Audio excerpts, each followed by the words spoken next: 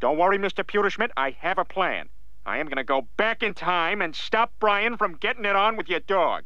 Everybody stand back. Ah! Uh, oh, oh, oh, boy. Oh, oh, oh, god.